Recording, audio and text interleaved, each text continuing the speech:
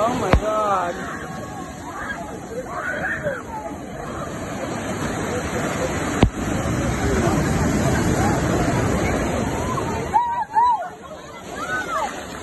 δεν το σκοτώσει. Απλά για να μην τη δαγκώσει.